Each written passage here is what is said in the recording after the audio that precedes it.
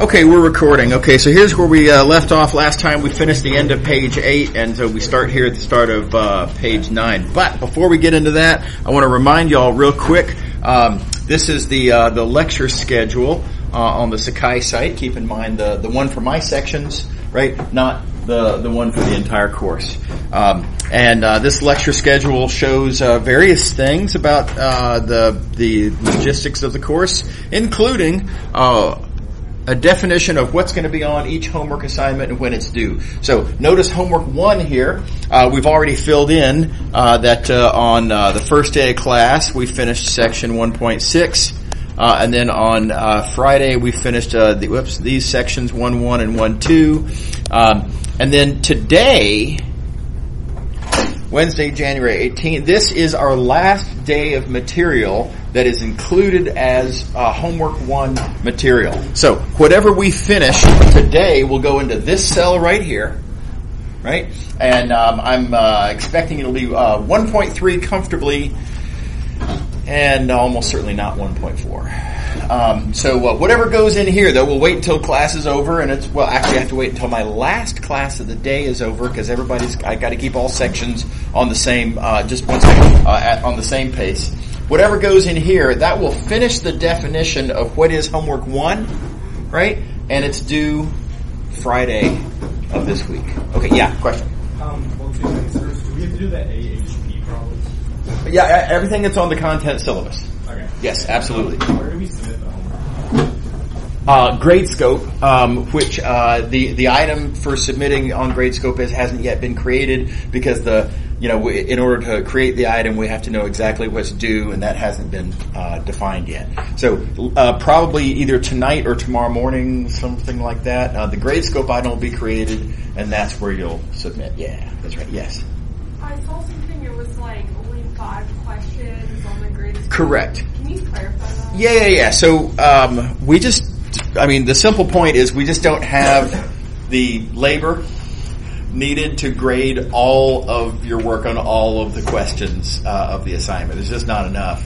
Um, so what we're going to be doing is just uh, picking five. Uh, and uh, and grading just those. So roughly speaking, what's going to happen is uh, the grand total assignment is going to be broken up into five chunks, each of which you will submit as a Gradescope question right? I have to kind of lie to Gradescope and tell it that this is one question. It's actually going to be a bunch of exercises, right? Uh, like, for example, all of 1.6 might be like one of the one of the one of the questions on Gradescope. So, uh, which one of those will be graded uh, won't be revealed, of course. Um, and uh, but then after the homeworks are submitted, then uh, the, one that we're picking to grade will get graded, and all the others will be ignored. Yeah. Is that good enough? Yeah. Okay. Anybody else? Everybody's happy. Okay. All right. So uh, yeah. So be on the lookout for the item to be created on Gradescope uh, in the next uh, 24 hours, pretty much. Um, and make sure to submit by uh, note all homework due date times or 11 p.m. Eastern. That's uh, so 11 p.m. our time. Uh, and uh, the homework due date is January 20th. Okay. Alrighty. So now let's get back into the math. Um, so we talked about one of the big differences between equations and parameterizations is that equations test points, whereas parameterizations very differently generate points, and these are very much not the same thing. So uh, let's talk now about lines uh, in space. And, uh, well, we know how to parameterize a line in space, but we can't really write an equation uh, for a line in space because, uh, short version, and typically, generically, if you have an equation involving three variables, uh, the solution set's going to be a surface, not a not a curve, uh, or not, not a line. So uh, if I want to, if I want something that'll play the role of an equation, namely if I want a point tester, not a point generator, how would I get such a thing? Uh, and uh, there's a real clever little argument. Uh, here's our parameterization. Keep in mind what that parameterization does is it generates points. So let's ask the question: How would I test if I have a point, um, you know, uh, x, y, z, and I want to know is that on is that on my line?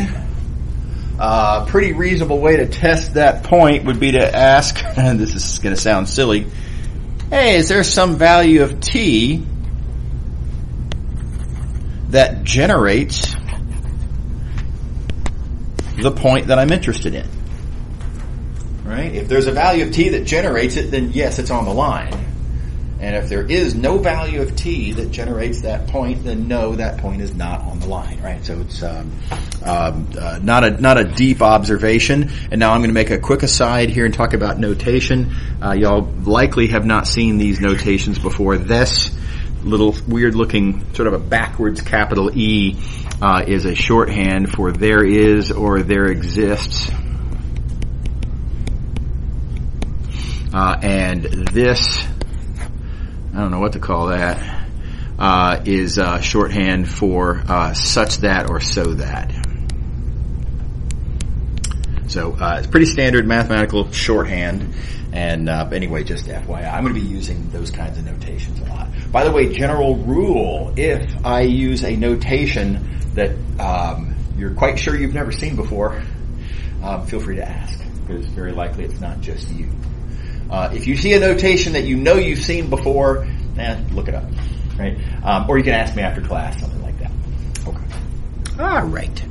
So uh, yeah, so so back to where we were. Let me erase uh, this. Uh, oops. Accidentally got my half my question mark there. There we go. Okay, so a test is does there exist a value of t that makes this equation work? And now I'm going to say the exact same thing in a slightly different form. Is there a value of t that makes these three equations work? I claim it's exactly the same thing because if you look at this kind of, if you will, first coordinate equation and just solve for t, you get that, this equation. And if you look at sort of what you might call the second coordinate equation there and solve for t,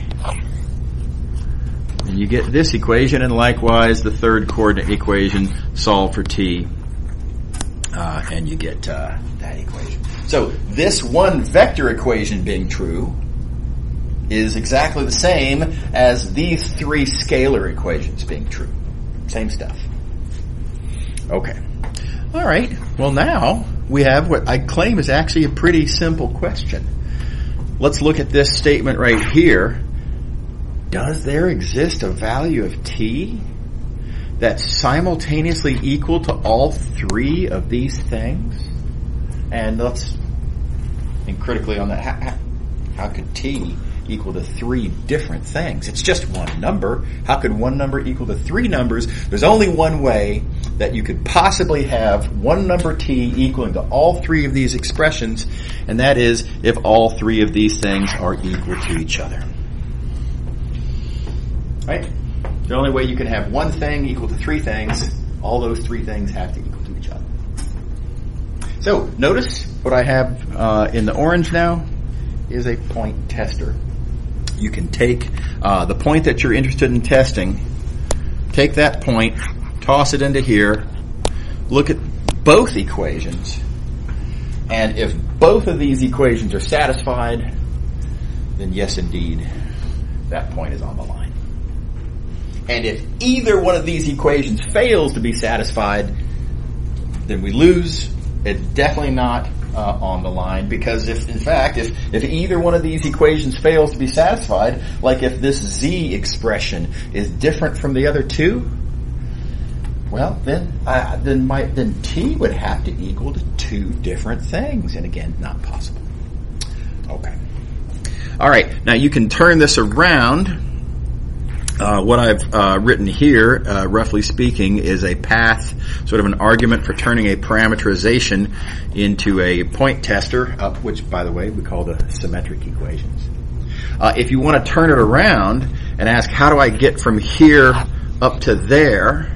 What's the argument that allows you to get back there? Just remember where this symmetric equations came from. It came from the fact that I need these things to be equal because I need them to all possibly be able to equal to a single thing, namely t. And if you take uh, this here, rewrite that as three separate equations, then that is your parameterization. Okay. All right. So um, this uh, may or may not have been covered in Math 218. I'm not sure, but uh, anyway, if, if if it was, then that's a review, and if it wasn't, then that's how that works. Okay. So moving along now to the dot product. I know this was covered in Math 218, fundamental tool of linear algebra. Uh, again, definition. Again, you've seen it before. Um, reminder: there's a lot of stuff in this class.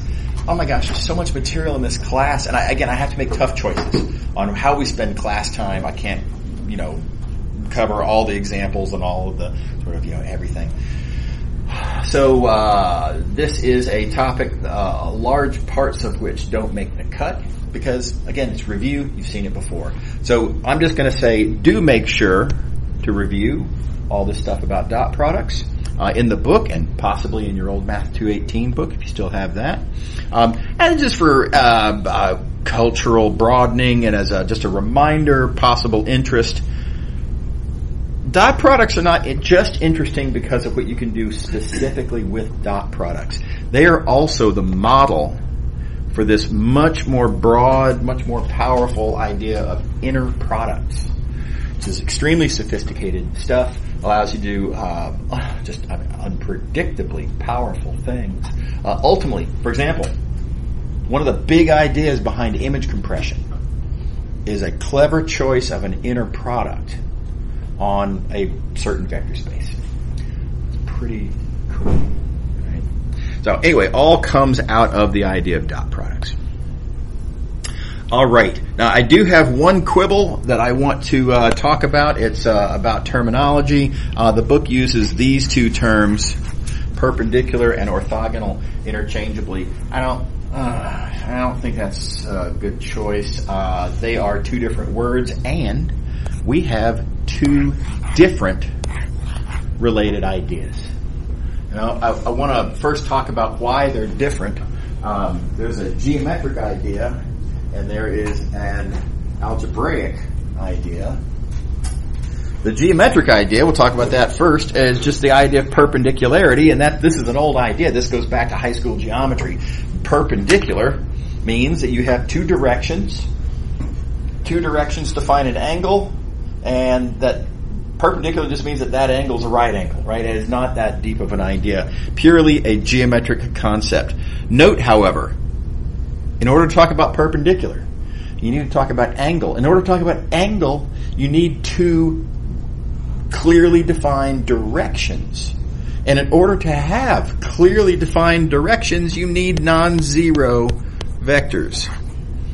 You can't talk about the angle between the zero vector and another vector. The zero vector doesn't define a direction. There is no angle to talk about. Does that make sense? Everybody's happy. Okay. All right. So that's the geometric idea. Now there is a uh, an algebraic idea that is dot product equaling zero. Uh, and that, of course, is very closely related to the idea of perpendicularity. But keep in mind, um, dot product equaling zero makes sense whether the vectors are zero or not. Right?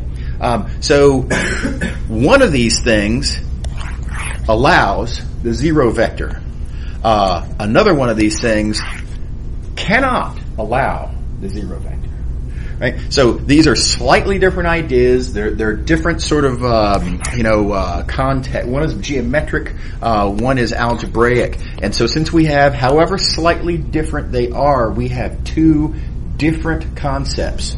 And we have here two different words, and I think it makes sense to use one word to describe one concept and the other word to describe the other concept. Call me crazy. I don't. I think that makes sense right? And uh, so I think it's unfortunate uh, to uh, to blur this distinction and to use these terms interchangeably.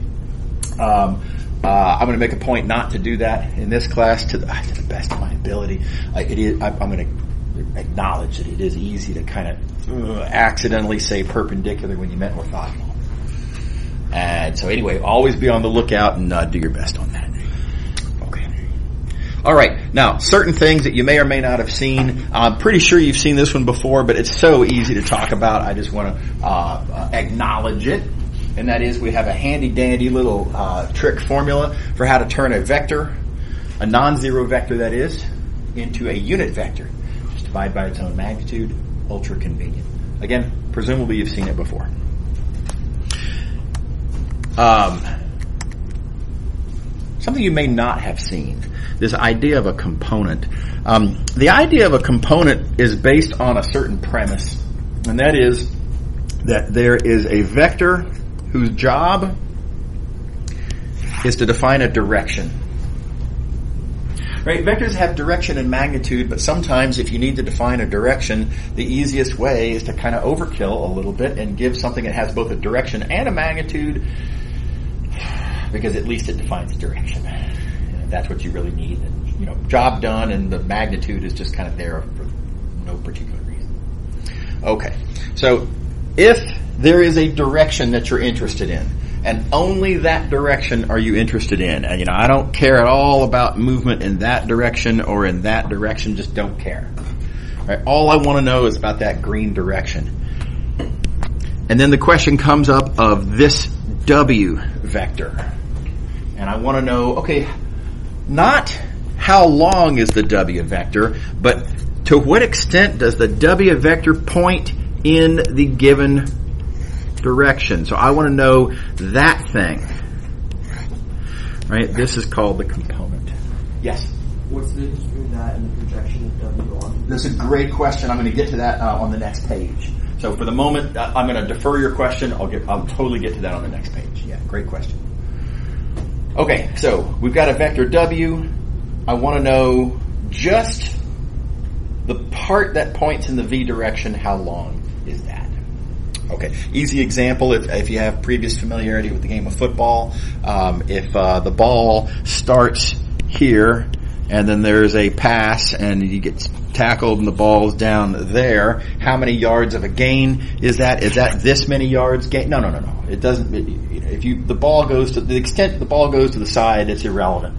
You don't get a first down because you throw the ball sideways 10 yards, right? Uh, it's only the part in the relevant direction. So it is the component that defines the yardage gain. Yeah, sports reference. If you, if you don't, if you don't know football, don't worry about it. Okay. All right. So, uh, how do we compute the component? There's an easy argument we can make using trig. Uh, notice that that distance the magnitude of W is the hypotenuse of a right triangle. And notice that uh, the component that we're interested in is one of the sides of that right triangle. And notice then that their ratio is the cosine of this angle in that right triangle. Right? Real simple trig. We write down this equation, and then from there we can do some clever algebra. Uh, it's um, a matter of writing down the formula for component. Let's see here. Uh, colors.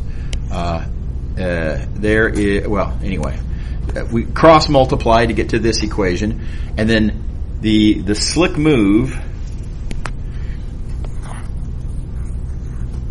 is to multiply and divide at the same time by the magnitude of v, which seems like a weird waste of time.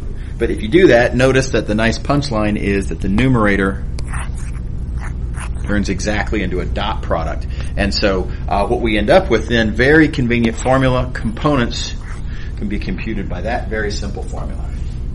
And it's like the trig just disappeared. What really happened is that the trig that goes into components and the trig that goes into dot products are exactly the same trig and we kind of we hid this trig inside of that trig, if, if you will.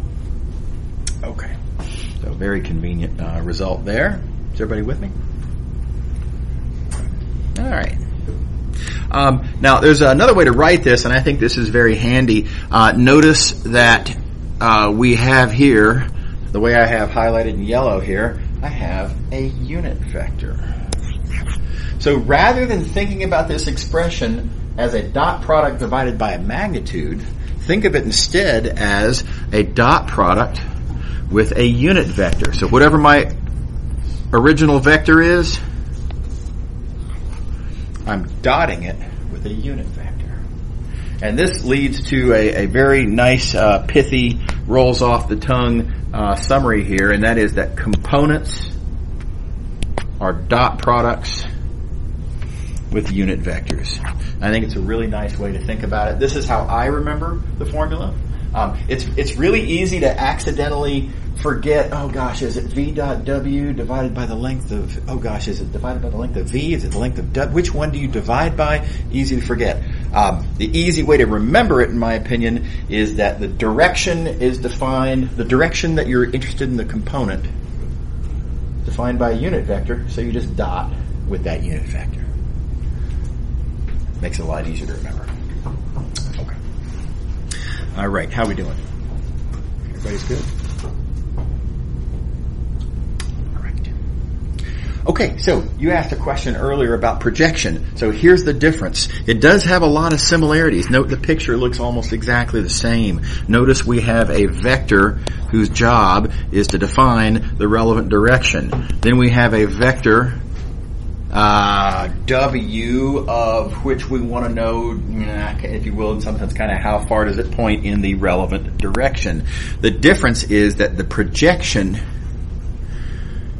rather than being the length, the projection is the actual vector. So that's the main difference between a projection and a component. A component, a projection is a vector, a component is a scalar. Okay. All right, so how are we going to find this projection? Uh, there's different ways you can think about it. Here's my personal favorite.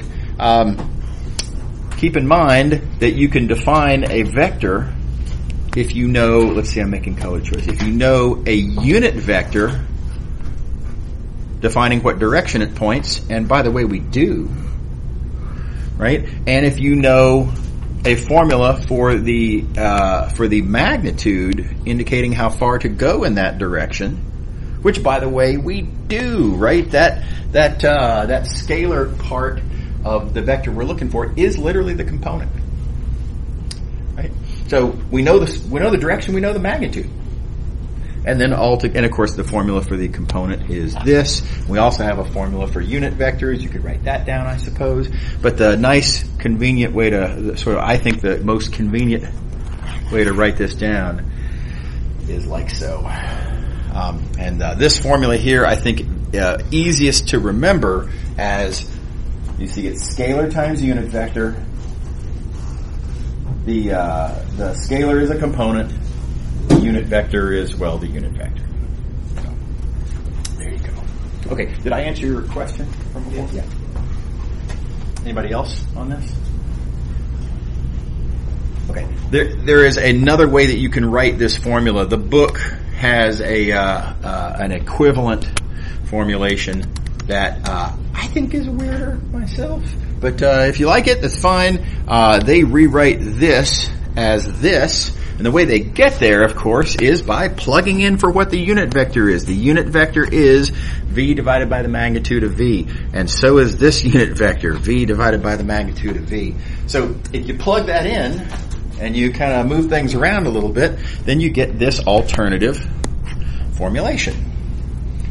Now, which would you prefer between these two options? Uh, I like this one uh, because for one thing, it's less characters. It's easier to remember, right? But also, it's more uh, rememberable. It's more um, what's the word I'm looking for? Uh, it, it, transparent because I can see right here in the formula that I'm talking about a direction and a magnitude, and furthermore, that the direction is something I have a pre-existing formula for, I've already memorized. And this component is a pre-existing formula I've already memorized. So this one leaps off the page. This one is, you couldn't forget this if you tried once you understand it. Okay, once you understand it, right? But uh, this formula down here, um, you know, he asked the question, uh, "What does this thing mean?" And well, yeah, I mean, it's not it's not a natural thing in the story. It's yes, it is what that coefficient ends up being, but it itself, by itself, uh, not particularly interesting. So I like the first formula better. The book likes the second formula better. Make sure to understand both, and then uh, take your pick. Okay, everybody happy? Yeah. Yes. Are we ever going to use hat notation to describe unit vectors, or like will the book, or Uh, is this the notation to use? I mean, I don't really care. Um, it, it doesn't. I mean, it's that's. If you don't ever use hat notation, then nothing ma- nothing goes wrong. Right? You don't actually need it. Um, if you like it, go ahead. Uh, I rarely, if ever, bother. Right? Um, if uh, a vector in question is a unit vector, such as uh, this one is, I will have said so at some point previously, um, and. Uh, yeah, I just I just mostly just don't don't bother with it. Yeah, is that cool? Yeah. Yeah. Good. All right. All righty. Okay, last thing before we go on to 1.4, um, there are some facts of plane geometry uh, that are much more inconvenient to deal with with high school techniques and much easier uh, with vector algebra.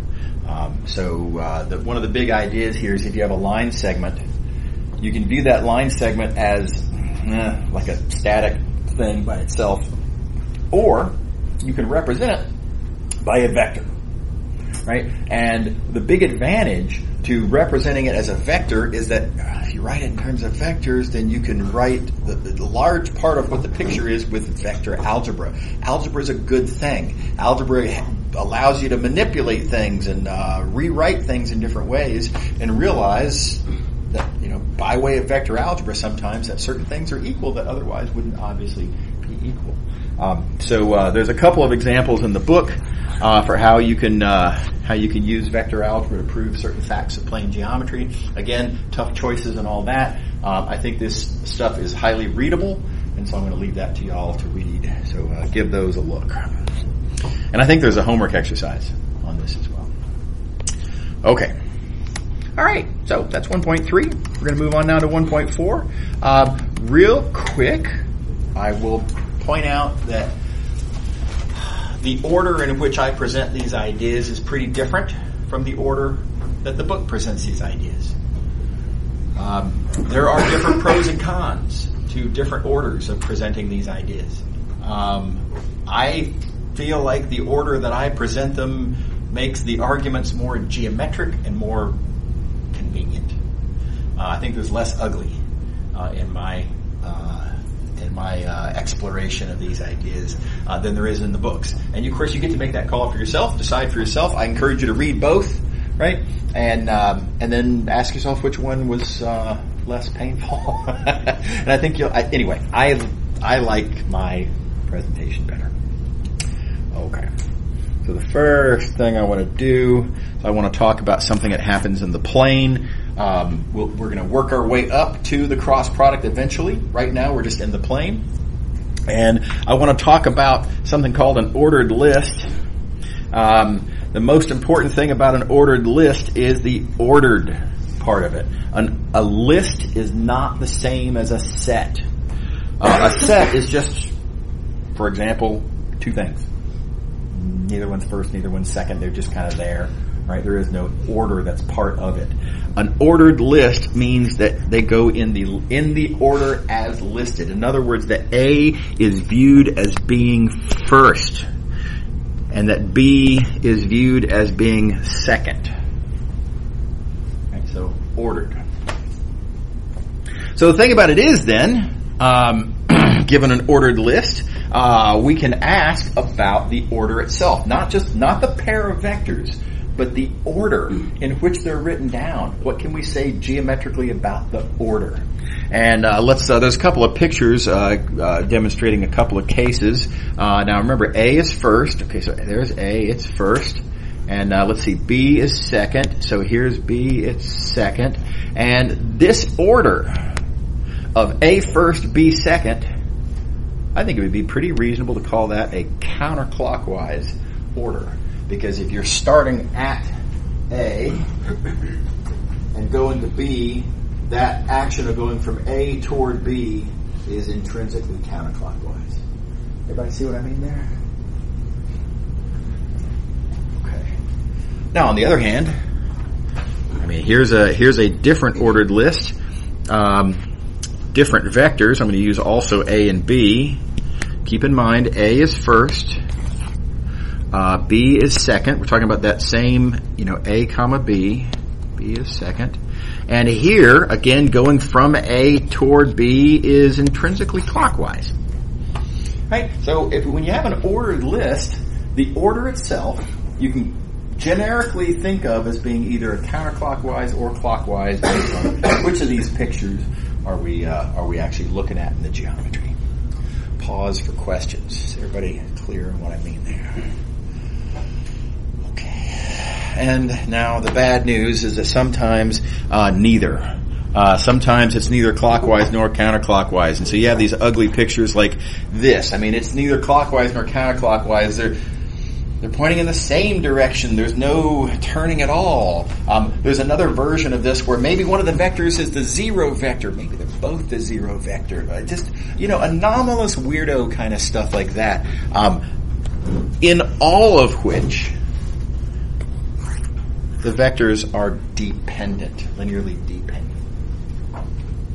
So these are the three possible um, uh, states of an ordered list uh, of vectors in, in R2, counterclockwise, clockwise, or the catch-all other uh, linearly dependent. Everybody good? All right. Now, this is a uh, an arbitrary definition. And whenever you make an arbitrary definition, you kind of owe the listener an explanation of why are we making this arbitrary definition? Why is this interesting? And I'm going to point out some neat properties that this has. Um, uh, these are what I'm going to call mirror images of each other, in the sense that if you uh, have a pair of vectors a b, oh gosh, uh, a b a comma b, notice that is counterclockwise for example, and if you were to then reflect over a line, notice that the reflection uh, A prime to B prime clockwise. So a uh, pithy, convenient way to say this is that clockwise and counterclockwise are mirror images of each other, or you could say that they're reflections of each other, and um, that's that's natural and simple, and it makes it seem like maybe these ideas, clockwise and counterclockwise, are themselves natural and uh, you know interesting.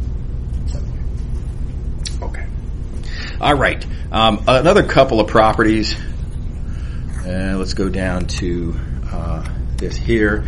If you trade the positions of uh, the two vectors. Uh, so uh, by trading, I mean if you put A where B was and you put B where A was, uh, thus resulting in B comma A instead of A comma B. Uh, notice that while the original list, for example, in this case may have been counterclockwise, the act of trading the positions of those two vectors turns the resulting list B comma A, B first, A second, to be clockwise. So trading positions changes the order. The picture I drew here shows counterclockwise going to clockwise. You can imagine a uh, similar but different scenario where it goes from from clockwise to counterclockwise. Okay. All right. Is everybody happy with that? Okay. All right. Okay. Um, neat fact, order is independent of rotations. So if we have, let's say, starting off, we have a counterclockwise order, A comma B, right? If I were to rotate this whole picture, if I were to take both A and B, right, and just kind of rotate the whole picture around, resulting in this picture, right? Everything got rotated by the same amount. You rotate the whole thing around, and the resulting vectors, r of a and r of b, still counterclockwise. And I think this is pretty believable, right? I mean, in other words, if you, uh, I mean, a simple example, if you're looking at a clock, if you turn your head to the side, the clock still runs the correct direction. Right? That's pretty, pretty natural. Okay. How do we feel about this? Everybody's good. Okay. All right. So here's where things get a little unfamiliar, maybe a little weird. And that is, what is the three dimensional version of this? So by uh, of this, I'm looking for a way to describe the fundamental geometry associated to the order in which I list three vectors. Again, very, very importantly, I'm not talking about a set of three vectors. I'm talking about an ordered list. A is first, B is second, C is third. Well, whichever one is listed first is first, etc. So, how do I geometrically describe the order when there's three of them in space? And it turns out a really natural way to do this is what I'm going to call right-handed and left-handed, and I'm going to have to do some literal hand waving to, to explain what I mean by this. Uh, first of all, let me describe right-handed order. Uh, we call it right-handed order because it involves using literally your right hand. Um, there is a particular hand gesture that you have to use. Uh, the the um, uh, the nature of the hand gesture is uh, fixed. It's non-negotiable. Um, the idea your index finger has to point parallel to your palm. Your middle finger has to bend the way that middle fingers want to bend. So no no fair doing stuff like this. So index parallel to the palm, middle finger bending the way it wants to. Right. And then you ask the following question index pointed in the direction of the first vector. Keep in mind our first vector is A. Index pointed in that direction. Middle finger bending the way it wants to. Middle finger pointing in the direction of the second vector. Second vector is B. Those two vectors define a plane, and your thumb of your right hand points on a well-defined side of that plane. And again, I know you could force your thumb, okay, but you know, play fair um, your natural position of your thumb points on a well-defined side of that plane. If the third vector, C, points in the same side of the plane as your thumb, then we call that a right-handed order. And so again, here's my here's the hand gesture applied to that uh, this arrangement of vectors here, showing that A, B, C is right-handed order. Everybody on board? Everybody see the, the gesture, etc. Now, on the other hand, let's look at this next uh, set of vectors here. Let's look at uh, this arrangement of vectors. Again, thinking of them in that order. And let's ask the question, is this a right-hand order? Now, it's tempting to say, well, uh, no, because uh, look, if I, if I point my index finger in the direction of the A vector, then I, I mean, I just can't bend my middle finger toward B. But check it out. Yes, you can. Watch this move. You can. You're perfectly allowed to twist your hand around however you want, and then you can, with your hand in this arrangement. Look, I've got my index finger in the direction of A and my middle finger in the direction of B. But now, see, my my thumb is pointing on the bottom side of the plane. The third vector C is pointing on the top side of the plane. So this is not right hand order. Everybody with me? But check it out. It is left hand order. Right? Index, first finger, uh, first vector. Middle, bending the way it wants to. Thumb, same side of the plane as the third vector. So, in the same way that clockwise, counterclockwise are, you know, other than the anomalous, sort of annoying weirdo cases, pretty much everything's either clockwise or counterclockwise. In the same way, any ordered list of three vectors in space, eh, you know, again, we're going to have to worry about counterexamples, but I mean, generically, most of the time, right-handed or left-handed. One or the other. Okay. All right. Uh, now we do have to talk about the third possible case, uh, and uh, that is uh, where something goes wrong. Uh, and there's various different versions of it. I drew a case here where the the vectors are all parallel to the same plane. And if you were to play the game here and just try to ask if these are, uh, you know, uh, right-handed or left-handed, well, C doesn't point on either side of the plane. And so it's neither right nor left. So this is one of the annoying sort of other uh, cases. And what you'll find is that even though there's lots of different versions of other, there's lots of different versions of right or left, right and left, both failing. They're all parallel to the same plane. Two of the vectors parallel to each other. Uh, one of the vectors is the zero vector. Two of the vectors are the zero vector. Various different uh, cases. The thing is, they're all linearly dependent. So again, nice little catch-all term there. And I'm going to say then that these are the three possibilities. These are the only three possibilities. Right, left, and dependent. Everybody on board? All right. All right. And I claim further that just like clockwise, counterclockwise has the mirror image property, the trading changes the order property, independent of rotations property, right and left have that same collection of features. So, uh, right-handed and left-handed are mirror images of each other. Easy sort of physical, you know, gesture demonstration, right? Right hands and left hands are mirror images of each other. Um, if you trade the position of two of the vectors in the list, um, then what was right hand becomes left hand. So, again, let's kind of walk through this. Um, a, B, C. You see this this uh, arrangement of vectors here. A first, B second, C third is in right hand order, right? But if I were to change the or- change the ordering, put B first, A second, then my right hand thumb is going the wrong direction, but my left hand thumb is just fine. Right? So right hand turns into left hand. Everybody happy with that? And again, rotations don't make any difference. Uh, and so, you know, again, this is um, pretty easy hand wave. Um, if uh, this is my initial arrangement of the vectors, if I rotate all the vectors the same way, still right-handed. Because, in fact, whenever I take my right hand and rotate it, my right hand remains my right hand. Right? So, uh, pretty, pretty, uh, pretty believable, I think. How are we with that?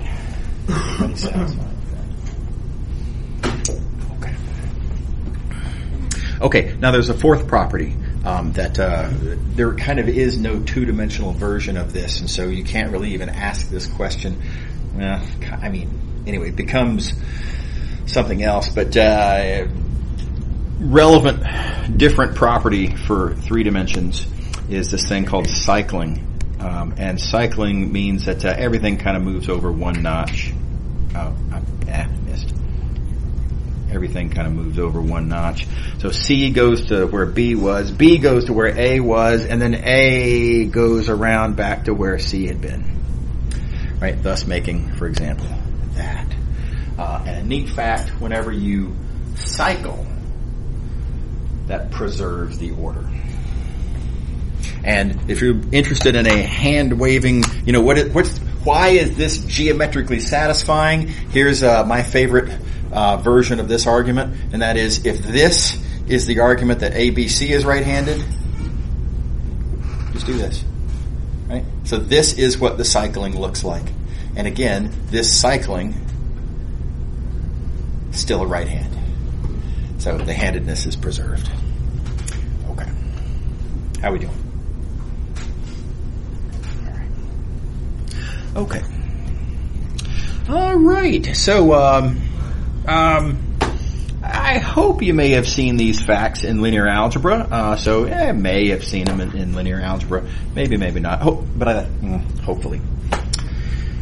Determinant has some really powerful properties that actually relate to this order business. And that's why I had to talk about order before I could get into these properties of determinant because it's about order. So uh, there's a lot to say here. Uh, here I have a list of vectors: uh, A first, B second, and I'm going to take this list and I'm going to do several things. For one thing, I'm going to take the first vector. Oh, whoa, wrong colors. I'm going to take the first vector, make it my first column. Second vector, make it my second column, and therefore my list turns into a matrix. Now that's just a choice. This is. Uh, I'm just going to do this mm, because I want to. Uh, this is not, I, I'm not saying that the list is the same as the matrix. I'm saying you can use a list to generate a matrix in this way. You also know that when you have a matrix, you can define a linear transformation. And once you have a linear transformation, I'll point out that you can ask what happens when I stick the unit square into that linear transformation. So there's our unit square, and I want to remind you that uh, when you apply, well, let's, let me get the picture drawn first. If you have a standard basis vector, right? If you put a standard basis vector into a uh, linear transformation, if you multiply a matrix times a standard basis vector, this is uh, this is one of the uh, basic facts of matrix multiplication. Matrix times standard basis vector gives you the corresponding column. Right? And of course we know what the corresponding column is. That corresponding column by construction is the first vector in the list. And so that purple E1 edge vector turns into this green A vector from the original list. And again, I'm just I'm just making stuff here. I haven't really I haven't said anything that I'm going to do with these yet. Right now, I'm just making things. Um, and then uh, let's see. Likewise, um, we can talk about uh, E2 is the other edge here. And we could ask what happens when you take E2 and put that in there. I'm multiplying the A matrix times E2. Again, that gives you a column in particular. This is E2. It's the second standard basis vector. So I get the second column, namely the second vector in my list, whatever that is. B, apparently. Okay. Everybody with me? So I've defined several things. I haven't said anything about these several things. I'm just noting that I have these several things. Um, all right, so here's the, the first statement. And this is, I, I think, quite a shocker. If you take that matrix and look at its determinant, and if you take this parallelogram that we just defined, defined by A and B being therefore the image of the standard uh, of, of, the uh, unit square. Very closely related, the determinant and the area almost exactly the same. The only difference is you have to take the absolute value of the determinant. So it's it's it's slightly sloppy to say determinant gives you area, but uh, the absolute value of the determinant gives you the area. So I'm curious, how many people saw this in Math 218? Okay, good. All right. So um, some of you may have uh, uh, seen it and maybe forgotten it. Maybe it was a long. It might have been at the very start of the term, something like that. Okay. So I think this is shocking that area. And if you look at this parallelogram and ask yourself how would you compute this area, uh, the first thing you do is you need to take the magnitude of a, which involves square roots. Where's the square root in this formula? This is just talking about determinant. Three function arithmetic, right? That times that minus that times that. It, there's no square roots in the formula on the left. There's definitely at least one square root in the formula on the right. Also, you're going to need to drop a perpendicular here, which means you're going to need to do trig to figure out that length. Where's the trig in this formula? I ask rhetorically. So it just doesn't, it seems too good to be true. How could this possibly be correct? Um, but it is in fact true. Everybody with me? Okay, and I'm, let's see, I gotta look at the clock here. Oh my gosh, I am already out of time. Shoot, okay. Right, because 235, let's see, 145, yeah, that's right, we're out of, we're out of time. All right, we'll pick up here on, um, on Friday. See y'all later. Have a good one. Okay.